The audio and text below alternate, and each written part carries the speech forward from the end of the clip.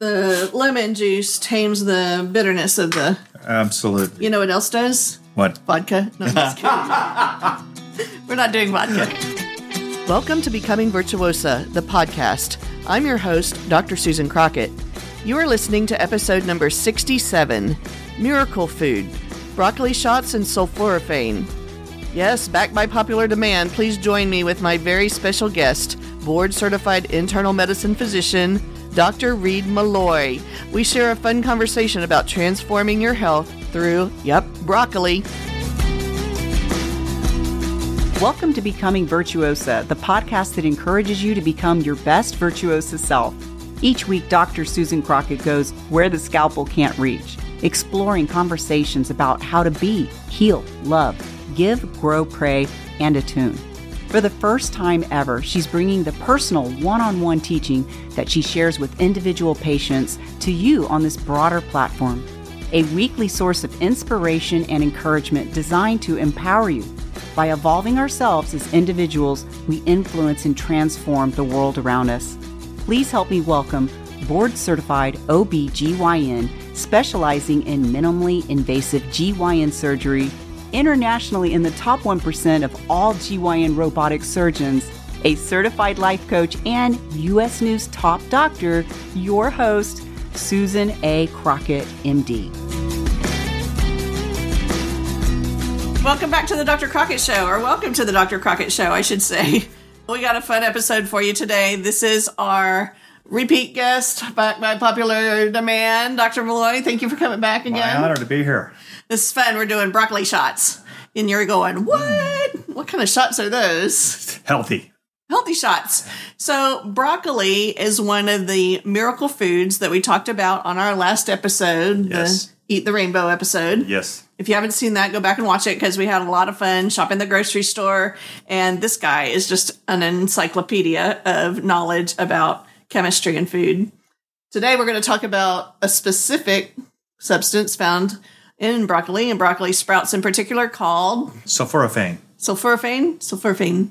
We're going to put that down line. Yeah, sulforaphane. and so when we chew a cruciferous vegetable or we cut it, chop it, whatever, it activates an enzyme in the vegetable that converts the precursor of sulforaphane, which is glucoraphanin, over to sulforaphane. And then sulforaphane does its magic. Well, what there. is that magic? Why is this so good for us? Yeah, I mean, it's an incredible molecule, and a lot of this research was done at John Hopkins. And sulforaphane has an impact on hundreds of different genes and their expression. And so when we ingest sulforaphane, it distributes throughout the body mm-hmm. and it turns off inflammatory pathways in the body.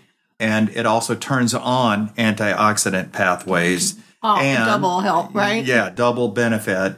And then on top of that, it activates processes in the body that help to detoxify our body, particularly uh, from that. things like benzene, acrolein, and these are compounds found in cigarette smoke, super high quantities. So if you're a smoker, yeah, you really, really, really need You're to gonna- be getting your cruciferous vegetables. to Yeah. double down on broccoli shots. Absolutely, but all of us can benefit from it. So, and then there's reduction in cardiovascular risk. We know it improves uh, the lipid profile, decreases triglycerides, and decreases uh, fasting blood sugar. Awesome. Those are all awesome things. So we should be doing a broccoli shot a day, basically. Man, I tell you, that that would be ideal. Well, today we're going to show you how to grow your own broccoli sprouts and then how to make a, your own broccoli shot out of them. So we're going to start with our broccoli seeds. You can get these on Amazon or where did you get yours? I got them on Amazon, Yeah. and you know, there is something to be said about the reviews on different websites and Mm-hmm. so forth. I mean,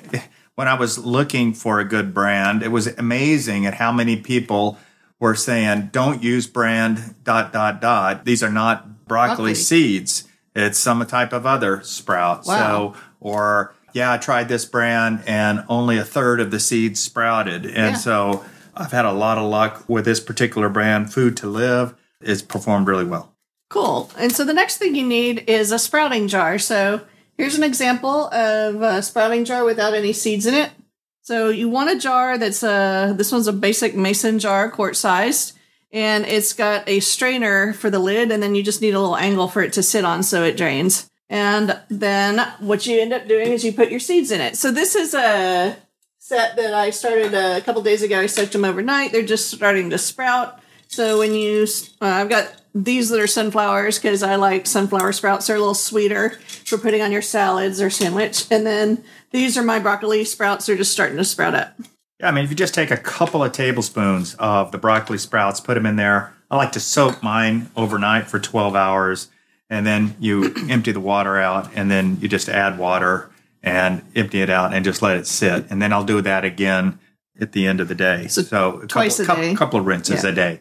And, if you don't do that, like Starly found out, they Yeah. get moldy. Yeah, they get moldy, and, Yes, and but you know within within four days, you're you're going to have a mason jar Yeah. just absolutely packed with uh, broccoli sprouts. Look at that. And the reason we're pushing broccoli sprouts is because broccoli sprouts have a hundredfold as much glucoraphanin, which is going to be converted over to sulforaphane. Not hundred percent, but it, it's just loaded with a hundredfold more than your mature broccoli plant. That's a lot more than the mature plant. And so Yeah. we're doing a couple of things to bring that out. One is we're going to make a four ingredient broccoli uh, shot. So we're going to use a little bit of warm water, and we don't want our broccoli sprouts really hot because that would Yeah. kill it. But Yeah, um, you can give it a little bit of warmth, but um, you definitely don't want to heat up your sprouts above 60 degrees Celsius. yeah, so I've got a little bit of warm water, a cup and a half to a cup and a half of sprouts. I'm making a triple recipe because we are sharing with friends today.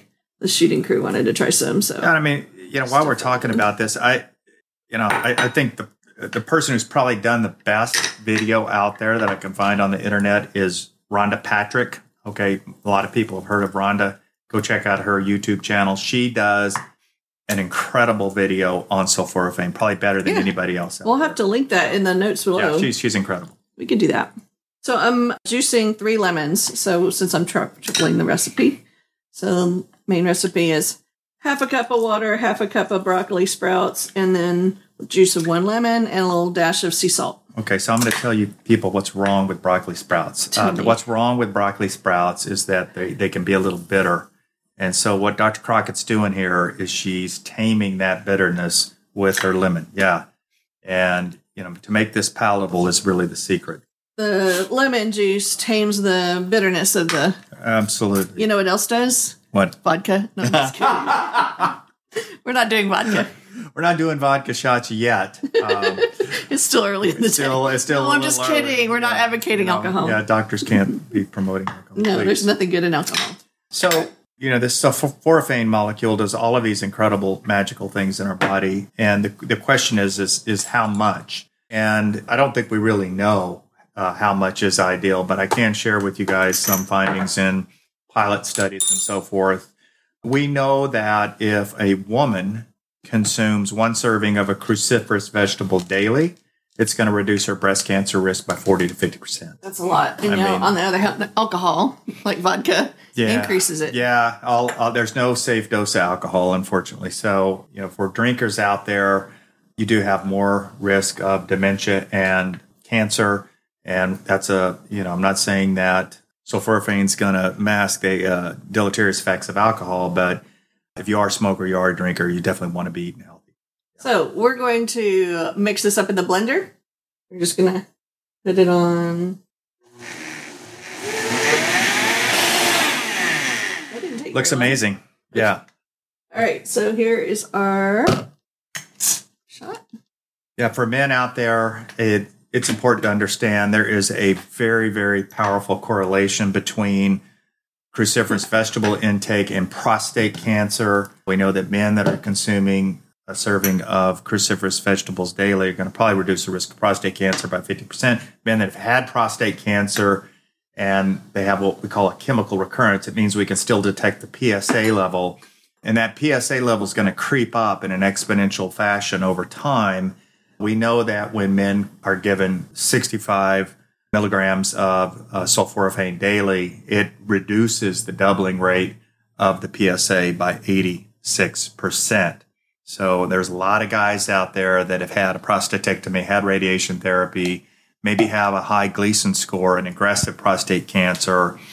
Those are the guys who really, really need to be serious about this. So, cheers. Cheers. Here Yeah. go. Thumbs up Wow. Delicious, Wow. right? That's delicious. That's not bad. for broccoli. Wow. It's a very tangy flavor. Yeah. Mixture, yeah. A mm-hmm. little salty. Yeah, a little salty. Yeah. It's strong. But it's powerful. Yeah. Yeah, it's, it, it really is. So go eat your broccoli and grow your broccoli sprouts and make some broccoli shots and get your sulforaphane in. Thanks Yeah. for joining us today. Yeah, absolutely. I mean, you, I mean, it's not just broccoli, of course, guys. It's just all of those cruciferous vegetables out there. So focus on those, and you'll be glad you did. Yeah. Well, thanks for joining us today, Dr. Miloy. You want to tell everybody where they can find you? You can find me at optimumhealth.doc.com, or you can reach me at drmiloy, Dr. Miloy at gmail.com. And as always, you can find me at drcrockett.com. That's drcrockett.com. And make sure to like, subscribe, and share. See you next time. Bye. Thanks for listening to this episode of Becoming Virtuosa. To learn more, come visit us at drcrockett.com. That's drcrockett with two T's.com. Or find us on YouTube for The Dr. Crockett Show.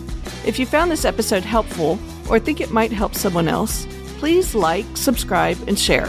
This is how we grow together. Thanks, and I'll see you next week. Love always, Sue.